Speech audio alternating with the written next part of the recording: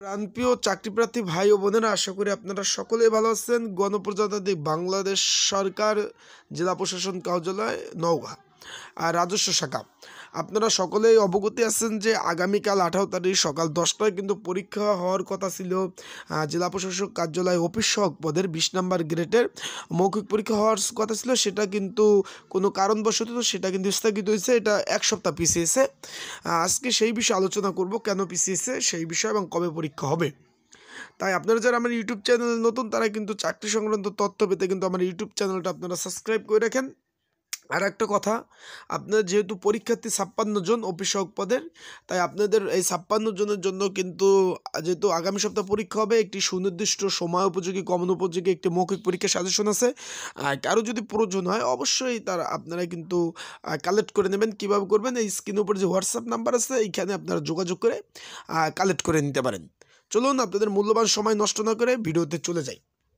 আর স্মারকনাং এত এত দ্বারা সর্বসাধারণের অবগতির জন্য জানানো যাচ্ছে যে নওগাঁ জেলা রাজস্ব রাজস্ব প্রশাসনের বিশ নাম্বার গ্রেড অন্তর্ভুক্ত অফিস সহায়ক পদে উনসত্তরটি শূন্যপদের বিপরীতে জনবল নিয়োগ লক্ষ্যে গত নয় দুই দুই তারিখ অনুষ্ঠিত লিখিত পরীক্ষা যারা পাশ করছেন, তাদের রোল নাম্বার দেওয়া ছিল। তাদের কিন্তু পরীক্ষা কোনো কারণবশত আঠারো দুই দুই হাজার চব্বিশ তারিখ হওয়ার কথা ছিল।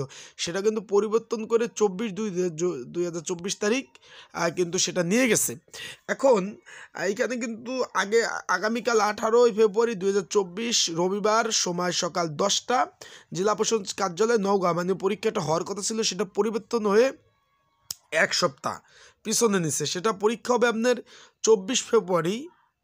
আর চব্বিশ শনিবার সময় দশটা, জেলা প্রশাসন কার্যালয় নওগাঁ। এখন একটা ঝামেলা হয়েছে, এই চব্বিশ, ছাপ্পান্ন জনের মধ্যে যদি কেউ পরীক্ষার্থী থাকে নইল গিয়া, টিকিট কালেক্টর পদের।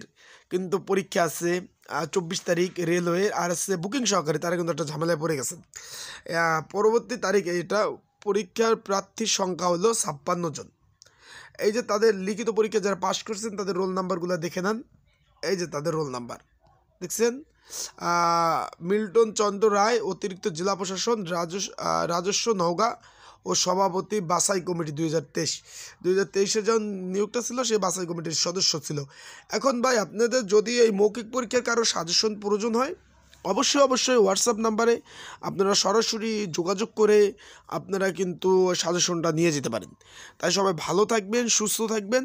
আর অবশ্যই যদি আপনাদের এই বিষয়ে কারও কোনো প্রয়োজন হয়, কোনো কিছু জানার প্রয়োজন, অবশ্যই সেই বিষয়ে কিন্তু আপনারা নক দেবেন। সেই বিষয়ে আমি আপনাদের জানিয়ে দেওয়ার চেষ্টা করব। আজকের ভিডিওটা এই পর্যন্ত। আসসালামু আলাইকুম, ভালো থাকুন, সুস্থ থাকুন।